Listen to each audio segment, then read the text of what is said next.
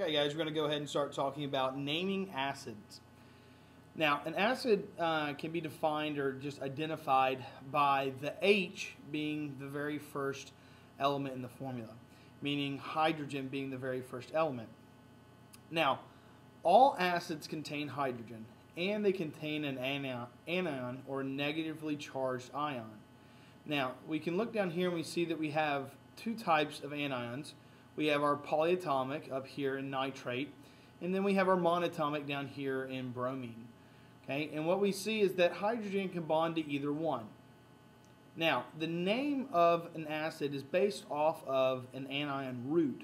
So it's based off of either here it would be nitrate and here it would be bromine. Now, there's two types of acids we're going to talk about. The first is a binary acid, and it contains only hydrogen and a monatomic anion, meaning hydrogen plus one other thing, because we see that binary, bi means two. Now, when we name a binary acid, all we do is we put the prefix of hydro in the very beginning. We take the root of the anion's name, add ic to the end, and then put acid. For an example here, we have hydrogen plus one, other thing, and that one other thing is bromine and we see that we would take hydro as the beginning prefix. Then we put brom for bromine, add ic to the end, and then acid. And this would be hydrobromic acid. Here we see that hydrogen is bonded to sulfur. So it's only bonded to one other thing. So it's a binary acid. So we add our hydro prefix, sulfur for sulfur, put ic at the end, and acid. So we get hydrosulfuric acid. Now guys, one thing you can look at here, it really doesn't matter the subscripts of the hydrogen, doesn't matter how many you have, because that has nothing to do with the name. The name only has to do with our anion, here bromine and here sulfur. Now, the next we're going to talk about is a ternary acid. And we see that the name when we name ternary acids, what it is, it's basically hydrogen plus a polyatomic, meaning plus more than one. So two or three. Now, what we see is that all polyatomics, when they're bonding with that hydrogen, are going to either have an ATE ending or an ITE ending. And all we have to do to name an acid, a ternary acid, is all we have to do is we have to change the ATE to an ic or the ite to an OUS. For an example here, we have hydrogen bonded to two other things, which is a polyatomic, and it's NO3. NO3 stands for nitrate, ending in ATE.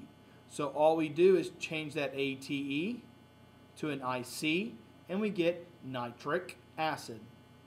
Here we have H2SO3, hydrogen bonded to two other elements, and we see that we have sulfur and oxygen. And SO3 is sulfite, ending in ITE. So all you have to do to name it is change that ITE to OUS, and we get sulfurous acid.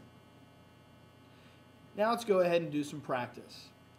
First thing we have to do whenever we're naming an acid is we have to figure out, well, what type of acid is it? Here we have HBr. Now, we know it's a binary acid because it's hydrogen plus bromine. So all we do is we add the hydro prefix, brom for bromine, ic at the end, and acid. So hydrobromic acid. Next we have HClO3. And what we see is we have hydrogen bonded to a chlorine and three oxygens. So hydrogen plus more than one element to ternary acid. Now, we go ahead and we see that ClO3 is chlorate. So we change the ATE to ic and it becomes chloric acid. Next, we have hydrogen bonded to C2O4. Again, we see that it's a ternary acid. We go ahead and we know that C2O4 is oxalate. It changed to oxalic acid. And we're done naming that. Moving on, we see that we have H3ASO3, which is arsenite. And we see that it's a ternary acid change that ite to OUS, and that's arsenic acid. Then we have H2S or H2SE, which Se is selenium. which is just an element, so it's hydrogen plus one other element. You see that we have a binary acid, so we go ahead and we name it hydroselenic acid. And lastly, we have hydrogen bonded just to sulfur. So we see that we change it's binary acid, put that prefix of hydro, sulfuric at the end, and acid. Now, one thing that we can notice is that just looking back very quickly at the names, we can see that anytime we see that hydro, we know it's going to be a binary acid. So when we're writing the formulas for the acid, meaning we have the name and we want to write the formula, the first logical step, obviously, is we have to determine is it binary or is it ternary acid. So we know that binary is going to have that hydro, ternary is not going to have that hydro. After we figure out that if it's binary or ternary, we go ahead and we say, well, we find the anion contained in the acid. So if it's binary, we see that it's just an element.